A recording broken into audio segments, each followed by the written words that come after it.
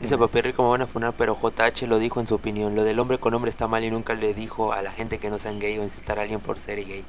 Pero es que a pedir. Puga, te voy a funar. Eso no es de yo, Puga. Eso no es de Dios, Puga.